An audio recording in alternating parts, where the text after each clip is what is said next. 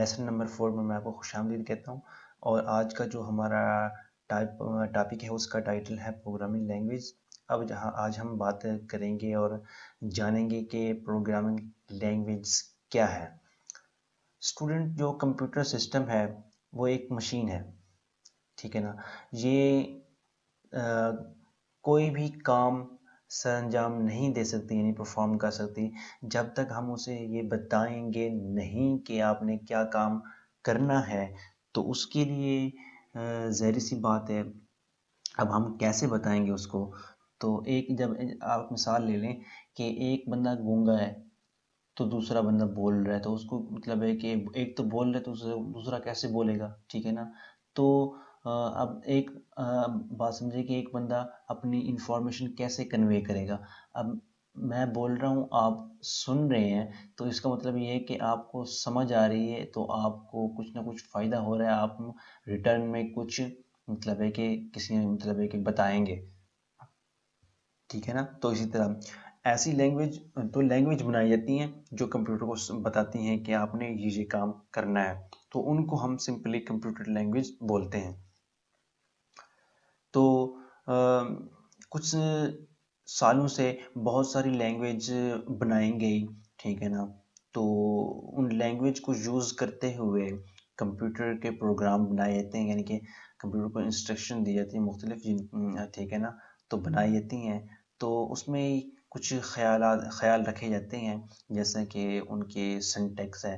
اب کوئی بھی لینگویج سیکھنی ہو ظاہری سی بات ہے، اب انگلش بھی سیکھنی ہو تو اس کے الفابیٹ ہم کو یاد کرنے پڑتے ہیں، اس کا یعنی کہ کیا طریقہ کار ہے وغیرہ وغیرہ۔ تو اسی طرح کوئی بھی کمپیوٹر کی جو لینگویج ہے وہ آپ سیکھتے ہیں تو اس کا آپ کو طریقہ کار جس کو ہم سنٹیکس بولتے ہیں، وہ سیکھنا پڑتا ہے۔ تو اس میں ہوتا یہ ہے کہ مطلب ہے کہ انسان کمپیوٹر کو آسانی سے سمجھا سکتا ہے کہ آپ نے کیا کرنا ہے اور کمپیوٹر آپ کو وشفل ریزلٹ دے سکتا ہے۔ تو ہم دیکھتے ہیں کہ ڈفرینٹ پروگرامنگ لینگویج ہیں، ٹھیک ہے نا؟ جس میں میجر کیٹیگریز آتی ہیں۔ ایک مشین لینگویج ہے اسمبلی لینگویج ہے ہائی لیول لینگویج ہوگی سسٹم لینگویج اور اسکرپٹنگ لینگویج ہوگی۔ تو چلے ہم باری باری اس کو ڈسکس کرتے ہیں۔ اسٹوڈنٹس جو مشین لینگویج یا کوڈ ہے یہ جو یہ ایسی لینگویج ہے جو کمپیوٹر ہارڈ ویئر کے لیے لکھی جاتی ہے۔ جیسے کہ یہ لینگویج جو ہے ڈائریکٹ یعنی کہ افیکٹڈ ہوتی ہے کس کے لیے؟ سی پی یو کے لیے کمپیوٹر سسٹم کے۔ ڈائریکٹ یہ اس پہ کام ہو سی پی یو پہ کام ہوتا ہے۔ تو یہ ایسی لینگویج ہے، یہ تو ہیومن کے لیے بہت ہی ریڈیبل تو نہیں ہوتی، ٹھیک ہے نا؟ تو یہ بہت ہی کمپلیکس ہوتی ہے۔ تو مشین کو مشین لینگویج اس کو بولتے ہیں۔ تو ایک اور ہوگی اسمبلی لینگویج تو یہ اسمبلی لینگویج کیا کام کرتی ہے کہ جو آپ نے مشین لینگویج یا کوڈ بنایا ہوا ہے نا، تو اس کو یہ ہیومن ریڈیبل بنا دیتی ہے. یعنی اس کو سمپل سمپل بنا دیتی ہے. اور اس مشین کوڈ کو ان کوڈ کرتی ہے اور ہیومن کے انڈرسٹینڈ کر دیتی ہے. یعنی انسان اس کو پڑھ سکتا ہے. اب سب سے کمال جو چیز ہے وہ ہے ہائی لیول لینگویج تو اسٹوڈنٹس یہ ایسی لینگویج ہیں جن کو انسان اچھی طرح سمجھ سکتا ہے اور یہ بہت آسان بھی ہوتی ہیں، ٹھیک ہے نا؟ اور یہ ایسے ہیں کہ آپ کوئی نئی زبان سیکھ رہے ہیں، ٹھیک ہے نا؟ جیسے کہ انگلش کوئی فرینچ کوئی عربک اینی تھنگ ہندی کوئی بھی چیز آپ سیکھ رہے ہیں تو یہ ایسے ہی ہوتی ہیں۔ تو اس کی چند ایگزامپل ہے C plus plus python basics COBOL وغیرہ، یہ ساری اس کی ایگزامپلز ہیں۔ جو ہائی لیول لینگویج ہیں اسٹوڈنٹس وہ بہت امپورٹنٹ ہے کیوں امپورٹنٹ ہے کیونکہ یہ ہمیں مختلف پروگرامز یعنی سافٹ ویئر بنانے میں بہت ہیلپ کرتی ہیں۔ تو یہ ہم، یہ ہمارے لیے بہت امپورٹنٹ ہے تو ہم ان کے بارے میں کچھ فیچرز دیکھتے ہیں کہ ان کے ہائی لیول لینگویج کو یوز کرنے کے کیا ایڈوانٹیجز ہیں۔ تو پہلی بات تو یہ ہے کہ اسٹوڈنٹس اسمبلی لینگویج یا مشین لینگویج سے یہ آسانی سے ریڈ کر سکتے ہیں، سمجھ سکتے ہیں، اس کو پڑھ سکتے ہیں، ٹھیک ہے نا؟ تو اسمبلی لینگویج اور مشین لینگویج بہت مشکل ہے کمپلیکس لینگویج ہے تو ہائی لینگویج بہت آسانی سے سیکھی اور یعنی کہ اس پہ کام کیا جا سکتا ہے۔ جو ہائی لیول لینگویج ہیں، وہ ہم ایسے سمجھیں کہ نیچرل لینگویج جیسے ہم ایک دوسرے سے بات کرتے ہیں، تو اسی طرح وہ ملتی جلتی ہیں اور ایزی ٹو انڈرسٹینڈ ہیں۔ ہائی لیول لینگویج کو اس طرح ڈیزائن کیا جاتا ہے اس طریقہ کار سے کہ وہ ایررز کو، ٹھیک ہے نا، جلدی جلدی کریکٹ کر سکیں یعنی فائنڈ کر سکیں ڈیٹیکٹ کر سکیں۔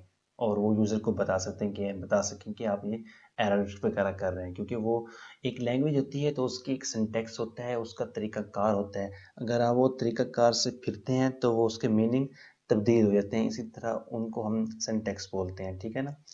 تو ہائی لیول لینگویج کو ہم ایزیلی موڈیفائڈ بھی کر سکتے ہیں، بقایا اوپر والی دو لینگویج سے یعنی مشین لینگویج یا اسمبلی لینگویج سے۔ تو ہائی لیول ہائی لیول جو لینگویج ہے وہ ڈیولپمنٹ بھی فاسٹر بناتی ہے ٹھیک ہے نا؟